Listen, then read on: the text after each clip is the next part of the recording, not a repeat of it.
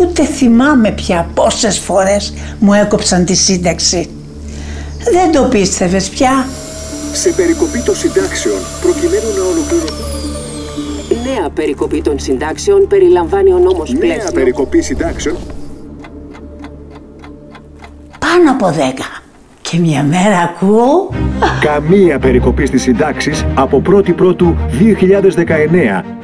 Εντάξει Ανακοίνωσε ο λέω, Πρωθυπουργός εντάξει. Αλέξης Τσίπρας Και προχθές ακούω... Προχωρούμε άμεσα στην κατανομή της ε, λεγόμενης ε, 13ης σύνταξης Επιτέλους! Με είχαν καταρριμάξει την έρμη. 11 περικοπές στις συντάξεις έως το 2014.